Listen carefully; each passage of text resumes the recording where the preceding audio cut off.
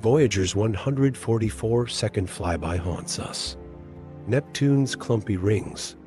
Magnetic fields tilted 47 degrees.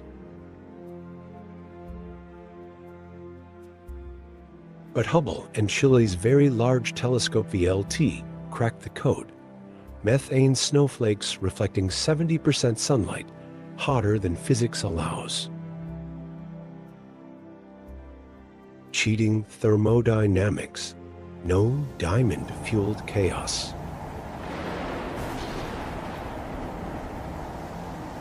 Neptune runs on a perpetual motion machine methane rises, crystallizes into diamonds, ignites supersonic winds, then collapses.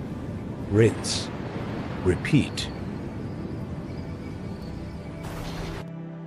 A blueprint for exoplanet ice giants rewriting the rules of existence.